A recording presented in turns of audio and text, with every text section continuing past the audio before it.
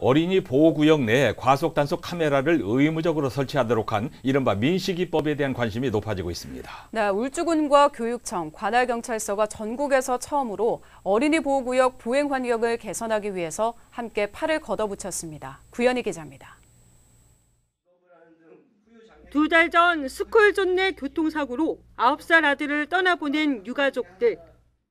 민식이가 차가운 아스팔트에서 피를 토하며 머리에서 피를 흘리며 숨이 끊어지는 모습을 최우선적으로 아이들의 안전이 보장될 수 있는 나라가 될 수 있도록 스쿨존 내 교통 사망 사고에 대한 가중 처벌과 과속 단속 카메라 설치를 의무화하는 이른바 민식이법이 국회 통과를 앞두고 있습니다. 지난 5년간 전국 어린이 보호구역에서 일어난 어린이 교통사고는 2,400여 건, 이로 인해 어린이 31명이 숨졌습니다. 하지만 과속 단속 카메라가 설치된 어린이 보호구역은 전국적으로 5%도 되지 않습니다. 울산도 어린이 보호구역 345곳 중 과속 단속 카메라가 설치된 건 25곳으로 설치율이 겨우 7%대에 그치고 있습니다. 이런 가운데 점차 감소 추세를 보이던 울산의 어린이 보호구역 내 교통사고는 올해 들어 늘었습니다.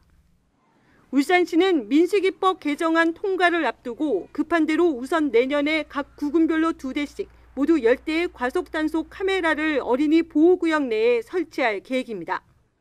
이와 별개로 울주군과 교육청, 관할 경찰서도 스쿨존 보행 환경 개선에 나섰습니다. 내년에만 16억 4천여만 원을 들여 울주군 지역 어린이 보호구역 등의 바닥 신호등과 보행자 감지 시스템을 도입하고 노란 신호등과 옐로우 카펫 등도 설치합니다. 필요한 예산은 모두 울주군이 지원합니다.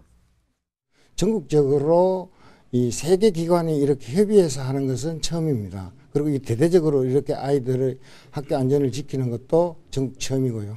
그래서 어쩌면 우리 대한민국의 모델이 될 수 있다 이렇게 확신합니다. 교육청은 대상 학교 선정과 교통 안전 교육을 책임지고 경찰은 교통시설 개선에 필요한 각종 행정을 지원합니다. 전 학교에 다 그 안전 시설을 갖추지 못해서 많이 안타까웠는데 오늘 울주군과 그리고 울주경찰서와 함께 울주군 전 초등학교에 보행 안전과 관련한 시설을 다 하게 되어서 굉장히 뜻깊습니다.